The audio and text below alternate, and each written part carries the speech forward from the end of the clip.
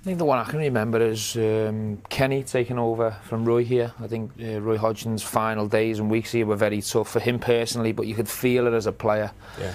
The, the tension in the crowd, you know, they were singing Kenny's name every five, ten minutes. Um, and I think before Roy was announced to be the manager, I think the majority of the fans wanted Kenny in anyway. Um, so yeah, the final days of Roy's were tough, and then when Kenny came, the atmosphere changed in the ground and in the club, and you know, the players sort of got a lift from that because it was uncomfortable playing uh, in the atmosphere under Roy. It, it, felt it felt tense, and I think the players uh, you could feel them going into a shell. But when Kenny came, it, it just seemed to lift, and you, and you got that manager. So, so impact. as players, did you give more under Kenny Dalglish?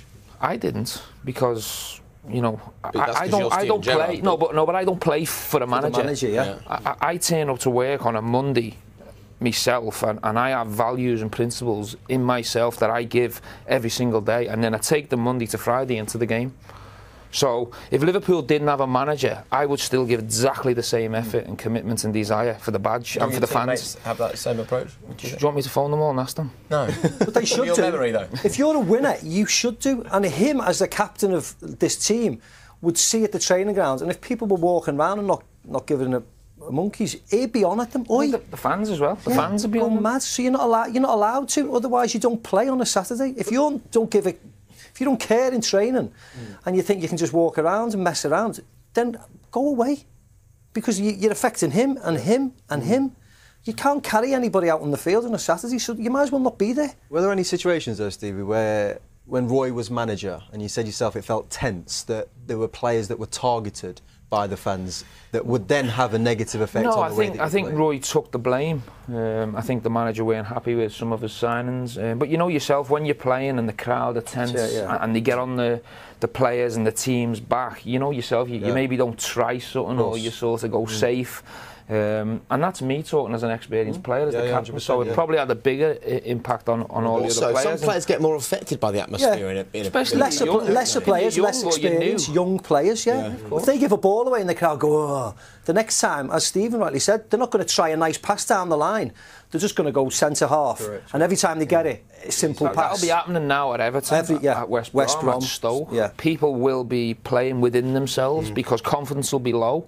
Um, the fans will be on them, it'll be tense, and, and then that affects individual and, and, and team play. And when that happens, are, are you out there as a footballer thinking, why are you why are you doing this? Like, if you're not happy with the manager, fine, but you're affecting the players. This is this isn't productive. But that's for all. It's that has always happened. You have to fight through it. You have to get through it.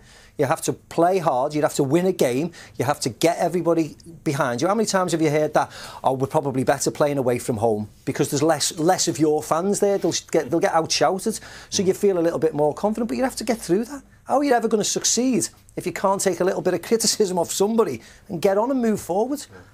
Mm. Okay. And finally, maybe it tells us something as well, doesn't it, about what life was like under Mark Hughes at Stoke. If a player is coming out and saying, "Oh, we're trying harder, we're winning tackles, we're running a bit more." I, I think that's harsh. If you, wouldn't you, if you're Mark Hughes? Oh, if I you think it's accuse harsh. it, If you look at some of the things that Mark Hughes, I think Mark Hughes took Stoke to their highest ever finish within Yeah. the Premier League as well. All, most of their uh, finishers were in the top half. Granted, this year, you know, it, it, it seemed to all fall apart for Mark Hughes and Stoke, but. I think just to kind of to, to throw that accusation at Mark Hughes, you'd be ra- Yeah. you'd be raging After based on finishing, what he's done. finishing ninth in the league, you can't sit Mark and Hughes say would be angry reading that, do you? Yeah, I think it's a poor quote. Yeah. Because I think under Mark Hughes, the Stoke players were trying and blah, blah, blah. Yeah. I don't think they weren't running around and they weren't tackling. For me, I think it's a poor quote. Yeah, I watched I watched Stoke a lot of times last year. I think they finished ninth. Forgive me if I'm wrong. I think they did, yeah. And they played teams, Arsenal's and things. And every time I see them, every time I went to Stoke and watched them, I thought they gave their all. I really did.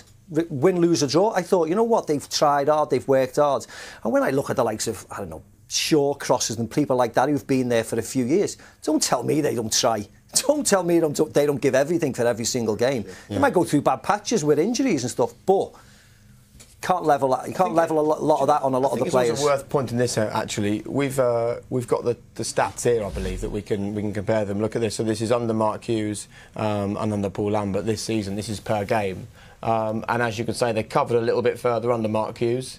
Um, Yeah, there you a go. few It's a So actually, there isn't much in it. But maybe you know to to give um, to give Jack Butland um, Yeah. a bit of credit, or to be fair to him. Maybe he's just trying to say positive stuff Yeah, about life on maybe, the Paul maybe, Lambert, and and maybe it fine. just maybe it also just feels better for whatever reason, you know. But yeah, but he's got to think before he says stuff like that and have some respect for the previous staff that have gone out. Um, if he's got the stats to back it up, what he's saying, and it's right, then yeah, say it. But I think he's said something that's got no substance.